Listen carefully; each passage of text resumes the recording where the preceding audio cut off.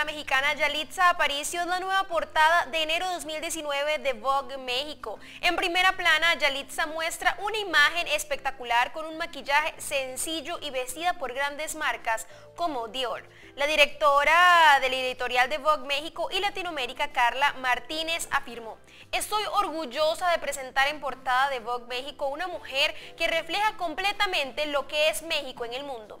Roma se basa en la historia de Cleo Yalitza Aparicio, joven sirvienta de una familia que vive en la colonia Roma, barrio de clase media de la Ciudad de México.